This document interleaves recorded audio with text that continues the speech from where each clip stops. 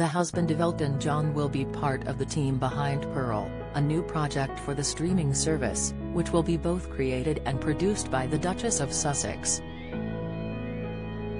Earlier this year, Meghan revealed that the series would focus on a 12-year-old heroine who finds inspiration in influential women from history. Speaking at the Hello! Inspiration Awards, Mr. Furnish described the Duchess as a fantastic collaborator and amazing leader.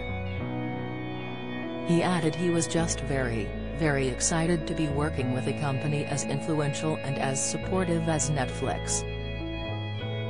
It will be the first time the Suits actress has served as executive producer. In a statement in July, the Duchess of Sussex described the main character, Pearl, as being on a journey of self-discovery as she tries to overcome life's daily challenges. Queen has royal fans in stitches after becoming flustered with Officer she added that the series celebrates extraordinary women throughout history. David Furnish and I have been eager to bring this special series to light, she said. Meghan has often used her fame to champion inspiring women.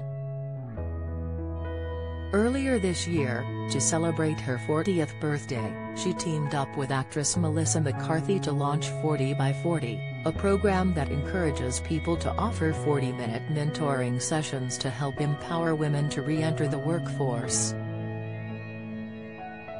Meghan said of 40 by 40, amongst the most valuable gifts of time is also time spent in service to others knowing that it can contribute to incredible change. To that last point, and with my 40th lap around the sun in mind, it made me wonder, what would happen if we all committed 40 minutes to helping someone else or to mentoring someone in need? And then what would happen if we asked our friends to do the same? In the past two years, and in large part because of the COVID-19 pandemic, tens of millions of women around the world have left the workforce, she added. Martin Lewis urges Britons to don't meter reading as energy bills surge I believe mentorship is one way to help women regain confidence and rebuild their economic strength. In 2019, the Duchess of Sussex guest-edited the September issue of Vogue. She used the front cover of the issue to showcase inspiration women from around the world, including climate activist Greta Thunberg, New Zealand Prime Minister Jacinda Ardern and actress Jane Fonda. In 2015, before she had met Prince Harry, Meghan gave a speech for UN Women on International Women's Day. She said that she was proud to be a woman and a feminist. Women make up more than half of the world's population and potential, so it is neither just nor practical for their voices, for our voices, to go unheard at the highest levels of decision-making, she said.